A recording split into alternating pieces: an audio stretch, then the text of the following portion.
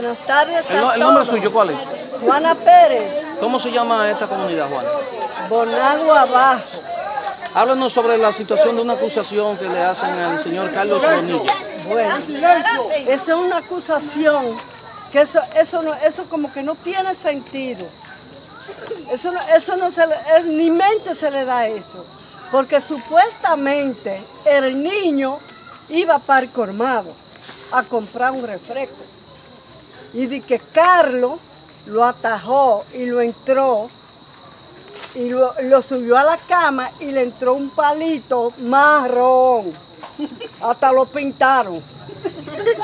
Marrón, el palito. Y que ese niño duró 12 días con ese palito. La señora Joana Guzmán dice que Carlos violó al niño, supuestamente fue que detrás del camión.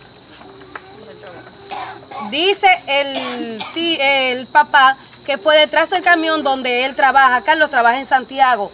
¿Cómo?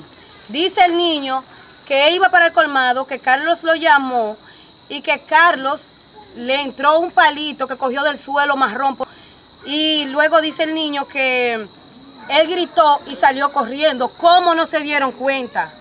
También el padre en una declaración que, que hizo a la prensa dice que el niño cuando estaba montando bicicleta fue que ellos se dieron cuenta. ¿Cómo? ¿En qué cabeza cabe eso? Ellos deben de buscar en su comunidad quién le hizo eso a ese niño. A quién ellos están encubriendo. Porque a alguien ellos están encubriendo.